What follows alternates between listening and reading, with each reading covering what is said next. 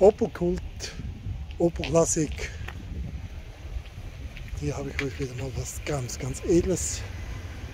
Ein Opel, der wirklich im Top-Zustand ist. So geile Farbe. Bisschen verpasst dort mit Lenkradschutz. Das klaut ja keiner das Auto. Es ist so auffällig, dass einer klaut. Dann würde man ihn sofort finden. Ich denke, das ist ein Kadett, oder? Irgendwie aber aufgemutzt zum Rennwagen. Breiter, wahrscheinlich mit Fiberglas.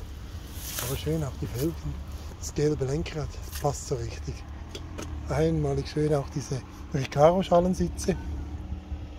Und ich weiß nicht, ob ihr das jetzt riecht über das Video, aber ich rieche es. Es riecht einfach nach Oldtimer Kult, nach Klassik, nach. Und ich finde, jeder sollte nebst seinem Auto noch einen Oldtimer in der Garage haben. Und nicht nur in der Garage, auch manchmal dann auch rausfahren und, und rausgehen mit dem. Weil ja, neue Autos sind vergänglich, man sieht es halt überall.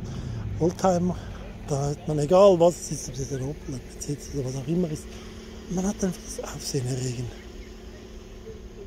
Es ist einfach etwas Edles und ja, ein bisschen ein, wie ein, ein Fingerabdruck, eine Persönlichkeit, man widerspiegelt mit seinem Oldtimer-Auto. Das ist geil gemacht, wirklich, finde ich ganz toll.